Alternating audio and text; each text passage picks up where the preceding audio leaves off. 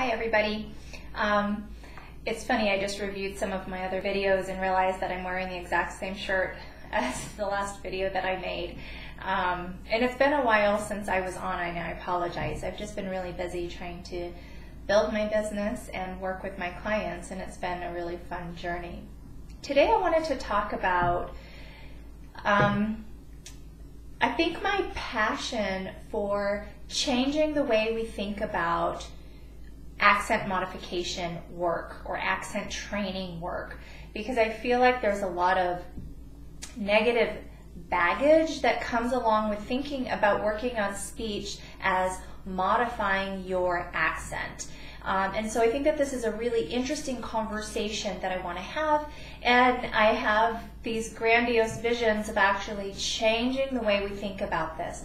So, one of the things I want to talk about is or encourage people to do is to shift from this idea of thinking that we're changing our accent, which to me feels like trying to fit in or be like others, and instead think about it as working on speaking skills, right? Like, I feel like there's a totally different attitude in working on somebody's public speaking skills or presentation skills.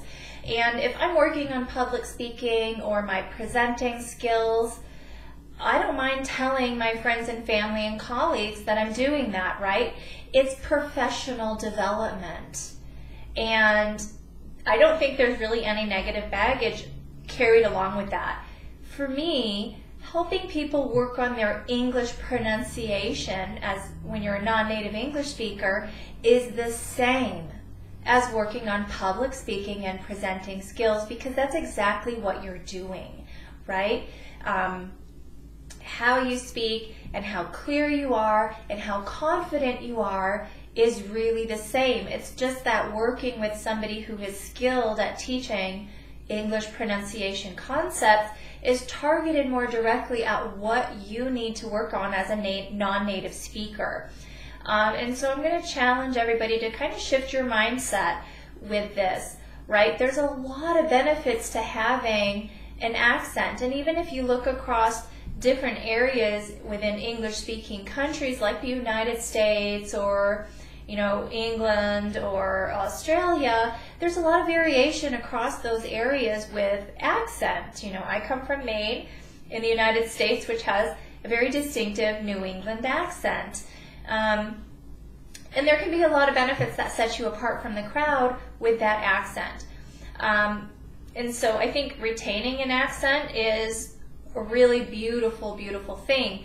And my goal for people is always to work on clarity, and confidence and generally overall speaking skills, right? Just like I would work with somebody on public speaking skills and presentation skills, to me, we're working on the same things when we're also working on your specific uh, needs as a non-native English speaker to gain clarity, confidence, and delivery, right? Let's not forget that delivery piece as we're speaking. So I challenge everybody to shift your mindset from accent neutralization or accent modification or trying to lose your accent. Like that really shouldn't be the goal in pronunciation work. And I really like reframing it like let's not even talk about it as pronunciation work. We're talking about public speaking, presentation skills and leadership communication. And if you want to develop the skills of speaking effectively to your colleagues and in meetings, um, gaining confidence in speaking up, even if it's just socially, and gaining the skill set of leadership communication. That's what pronunciation work can help you do as a non-native English speaker when you work with somebody with this extra skill set of being able to target the things that you need to work on. Sorry, I feel like I'm getting repetitive, but um, let me look at my notes here. Oh yeah, the other thing that I wanted to talk about, right? We talk a lot about that there that there are these positives to having an accent. It can set you apart. It's part of your identity. It makes you unique and interesting.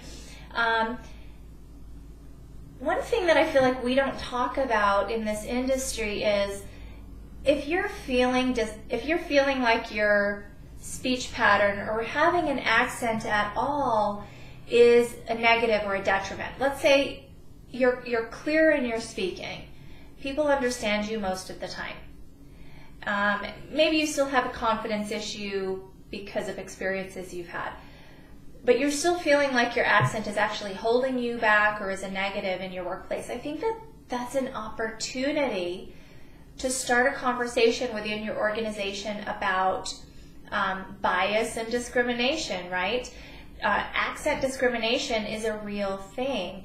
And so I think that there's an interesting opportunity here to educate and challenge our environments around us to address this issue. Are you actually receive? Are you actually uh, being discriminated against, or is there just a general bias within the workplace because of accent? Aside from clarity, and aside from your confidence in speaking up, right?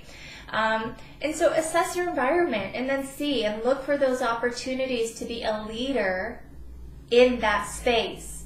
Uh, you know, going to your HR department and saying like, hey, can we have a training on accent discrimination and accent bias.